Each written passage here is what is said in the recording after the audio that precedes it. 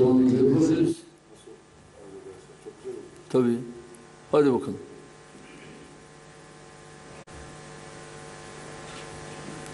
Yanımıza gel.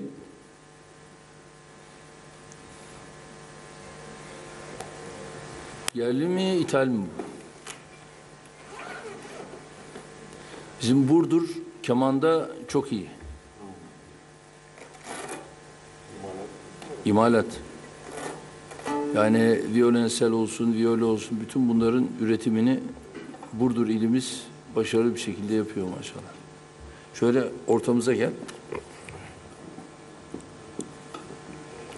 Cumhurbaşkanım bu bu, parçayı siz e, şey, Biraz yaklaş ama. Söyle. Cumhurbaşkanım bu parçayı e, şehitlerimiz için çalıyorum. Maşallah.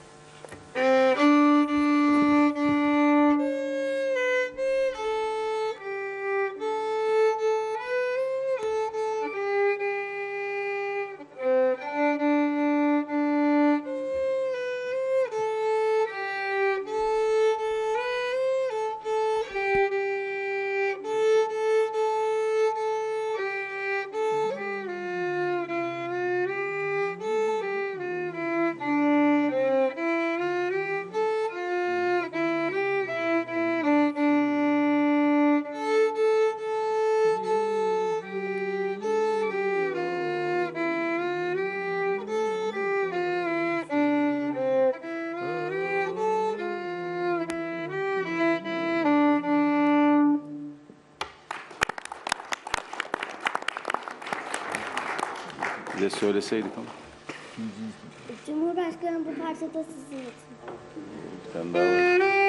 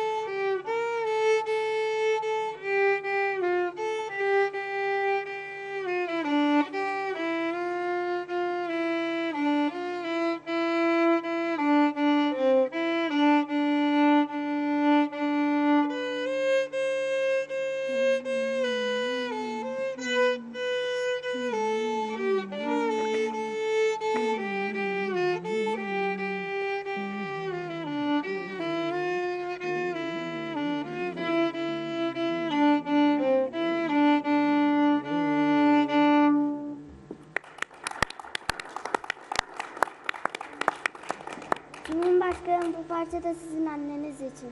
Of şimdi beni yıktın.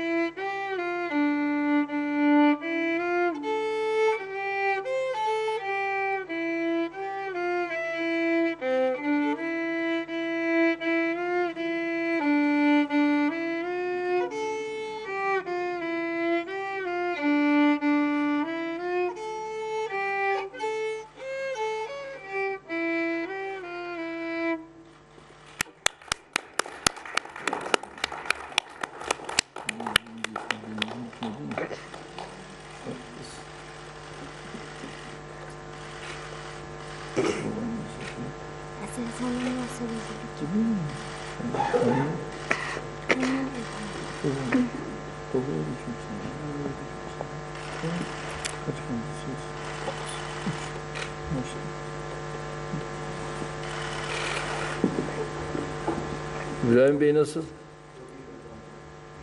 Maşallah. Allah Dedim Çanakkale'nin ilk kıtasını beraber söyler miyiz ama? Evet. Misafirlerimiz de belki Çanakkale'nin ilk kıtasını söylerlerdi ama çok güzel çaldı. Tebrik Çok. ediyoruz. Çok.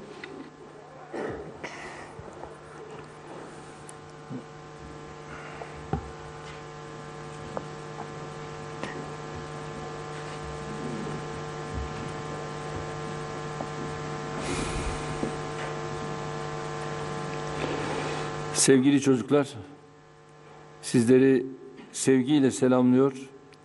23 Nisan Ulusal Egemenlik ve Çocuk Bayramınızı yürekten kutluyorum.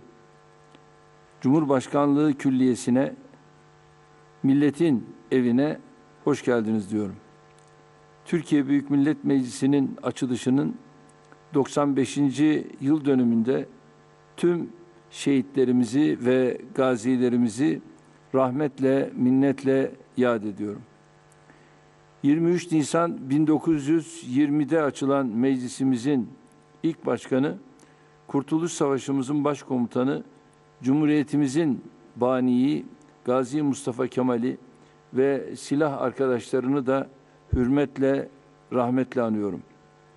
Sevgili çocuklar, Büyük Millet Meclisimizin açılış tarihi gibi gerçekten çok önemli bir günün çocuklarımıza armağan edilmiş olması rastgele alınmış bir karar değil.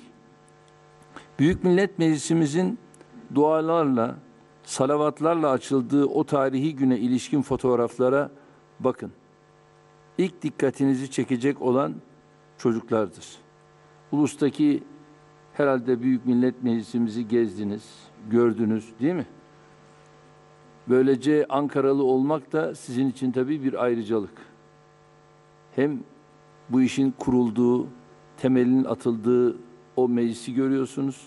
Hem de şu andaki yeni meclisimizi görüyor biliyorsunuz. Meclisimiz çocuklarla açılmış, çocukların istikbali için mücadele yürütmüş ve zamanı geldiğinde de o günün çocuklarına ülke yönetimini teslim etmiştir. Bugünün çocukları olarak Cumhurbaşkanlığına, meclise, başbakanlığa, bakanlıklara, valiliklere, kaymakamlıklara, belediyelere ziyaretçi olarak gelen sizler, yarın o görevleri bizzat yürüteceksiniz. Bizim bugün yaptığımız gibi sizler de daha sonraki nesillere güzel bir gelecek sağlamak için çalışacak, mücadele edeceksiniz.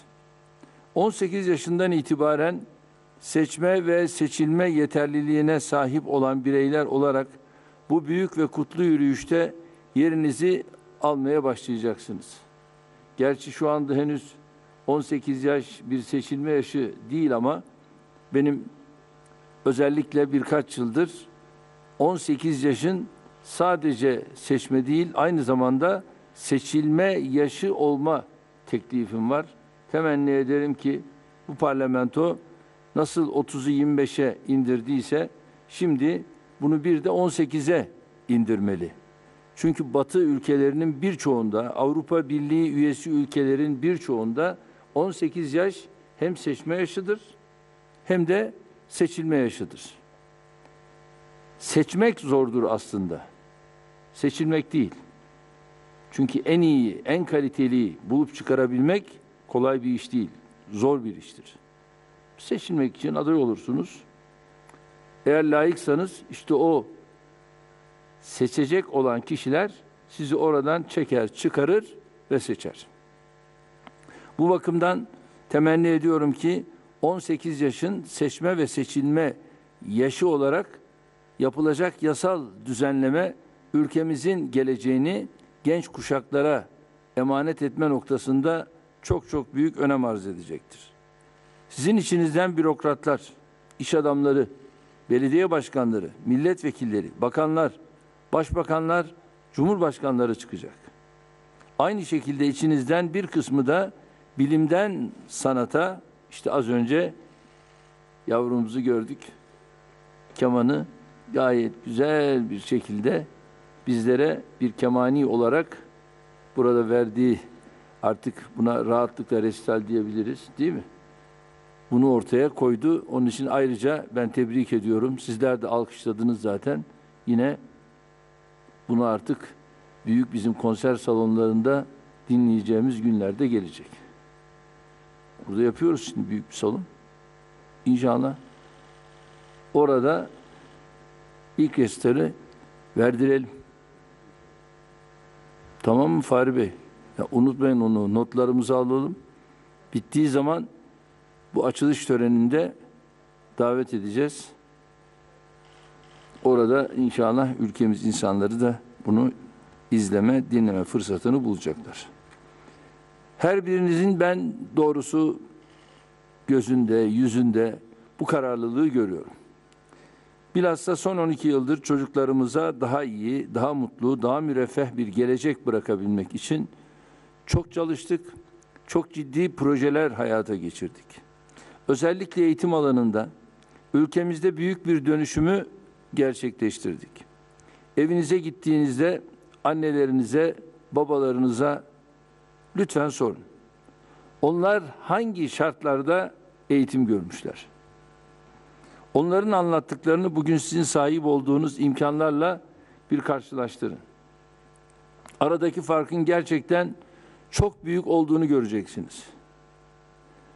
Biraz daha geriye gidip büyük anneanneleriniz varsa, yaşıyorlarsa, büyük babalarınız yaşıyorsa onlara da bir sorun. Alacağınız cevaplar eminim ki sizi ciddi manada hayrete düşürecektir.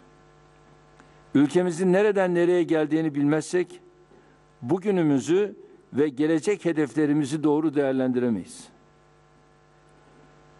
Türkiye son 12 yılda elde ettiği 3 katlık büyümeyle bugünlere geldi ve bu büyümede en önemli payı Milli Eğitim Bakanlığımız almıştır. İkinci sırada Sağlık Bakanlığımız almıştır. İnşallah 2023 hedeflerimize de ulaşarak sizlere 2053 ve 2071 vizyonumuzu hayata geçirebileceğiniz bir Türkiye teslim etmek istiyoruz. Sevgili çocuklar, biliyorsunuz 24 ve 25 Nisan tarihlerinde Çanakkale Kara Savaşları'nın yıl dönümünü yad ediyoruz. Bugün İstanbul'da yüze yakın ülkenin devlet başkanları, başbakanlar, bakanlar, temsilciler gelecekler ve şu anda İstanbul'a bir kısmı gelmiş durumda. Onlarla Dünya Barış Zirvesi'ni topluyoruz ve İstanbul'dan tüm dünyaya bir barış mesajını hep birlikte vereceğiz. Yarın sabah Çanakkale'ye geçeceğiz ve Çanakkale'de şehitliklerimizi ziyaret edeceğiz. İçinizde şu ana kadar Çanakkale'ye gitmeyen var mı?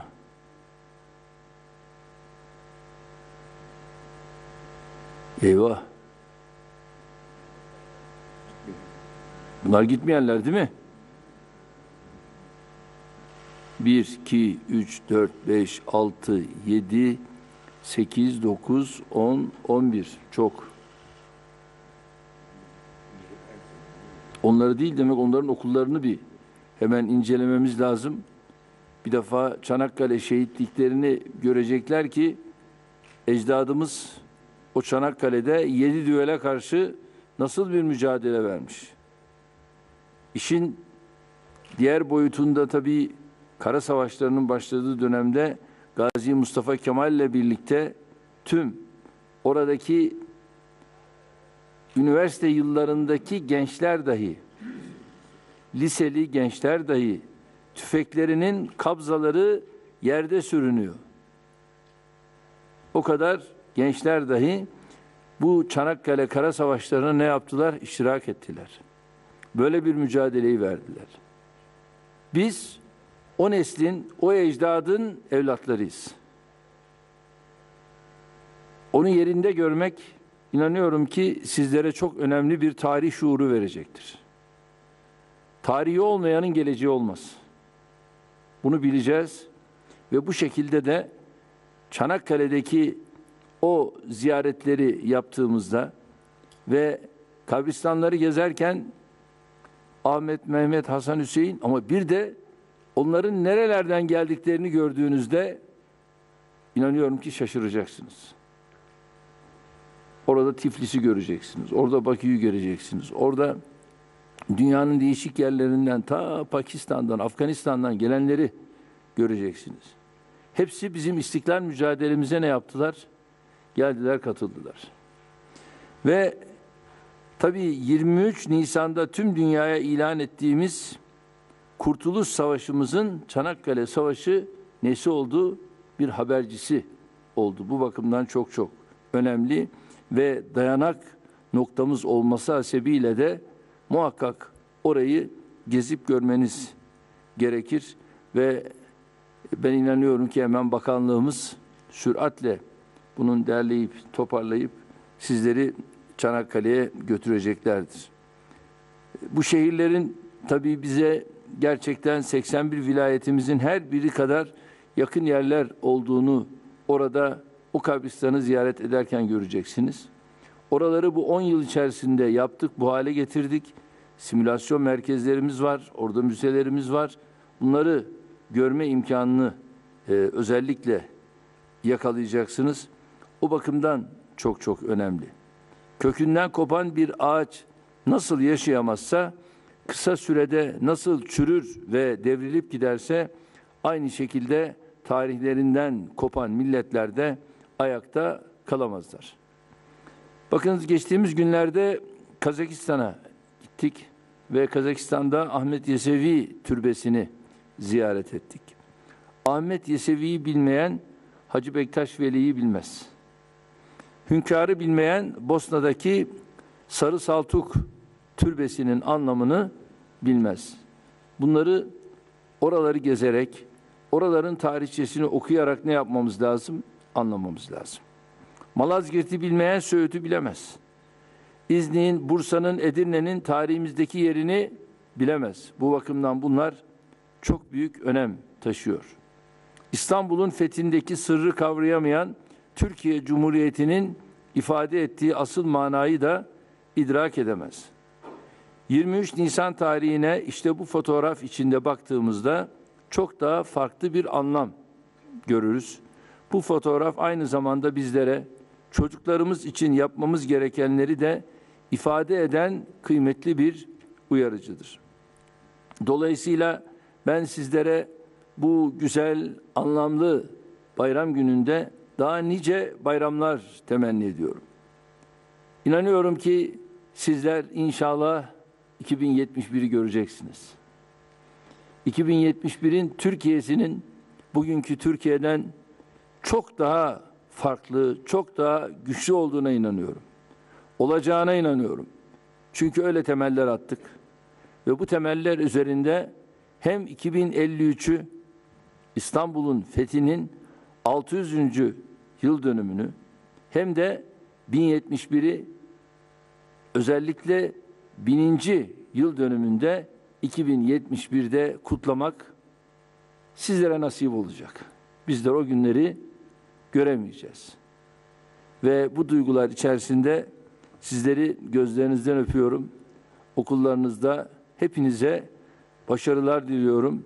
Başarılı bir gelecek Allah'tan temenni ediyorum. Evet.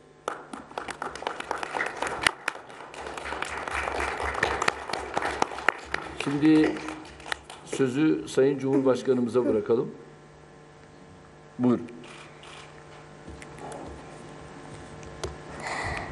Sayın Cumhurbaşkanım, değerli basın mensupları, saygıdeğer konuklar, sevgili arkadaşlarım. Böyle anlamlı bir günde beni ve arkadaşlarımı davet ettiği için Cumhurbaşkanımız Sayın Recep Tayyip Erdoğan'a çok teşekkür ediyorum. Merhaba yurdumun ve dünyamın bütün çocukları. Bugün bizim günümüz, milyonlarca çocuğun bayramı. Çünkü bugün 23 Nisan Ulusal Egemenlik ve Çocuk Bayramı. Bundan tam 95 yıl önce bugün Büyük Önder Mustafa Kemal Atatürk milli egemenliğin simgesi olan Türkiye Büyük Millet Meclisi'ni açmıştır. Ayrıca bugünü biz çocuklara armağan etmiştir. Gün sevgi ve anma günüdür. El ele olduğumuz her gün bizim günümüzdür.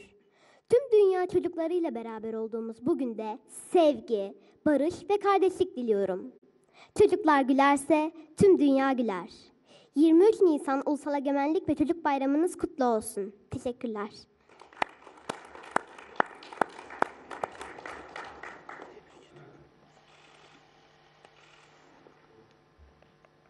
Evet. Şimdi Sayın Cumhurbaşkanımız soru alacak. Sayın Cumhurbaşkanımız soru alacak mısınız? Evet. Cumhurbaşkanımız soru alabilir mi? Ee, Sayın Cumhurbaşkanım, Cumhurbaşkanlığı Sarayı ile ilgili bazı tartışmalar yaşanmıştı. Siz de şu anda saraydasınız. Sizin görüşleriniz nedir? Siz nasıl buldunuz? Teşekkür ederim. Aslında bugün 23 Nisan biliyorsunuz ki biz bugün bayram kutlamaya geldik. Bugün coşkulu günümüz, sevgili günümüz bugün. Onun için 23 Nisan'la ilgili sorular daha uygun olabilir. Teşekkür ederim.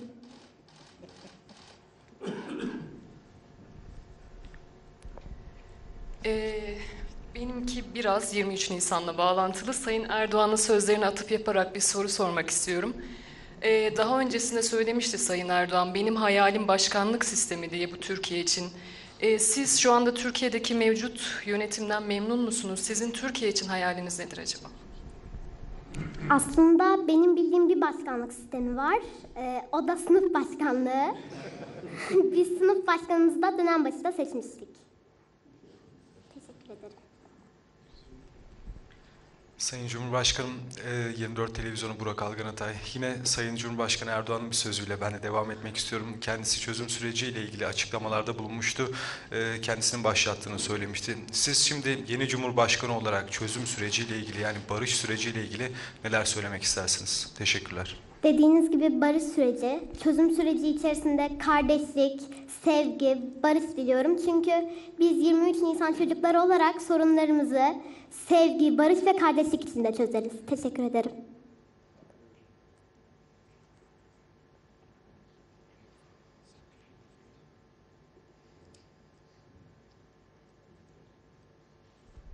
Efendim izniniz olursa bir ek daha yap- yapmak istiyorum.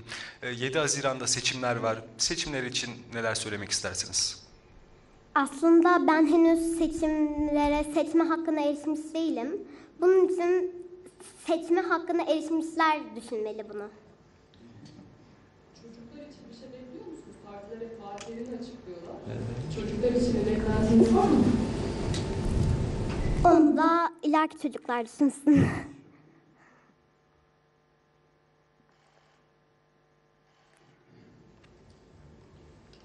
Evet, herhalde bu kadar değil mi? Peki. Çok çok teşekkür ediyoruz.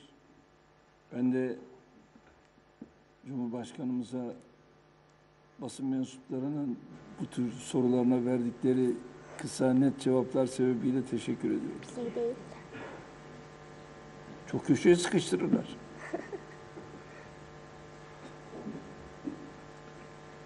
Evet teşekkür ediyoruz. Sağ olun.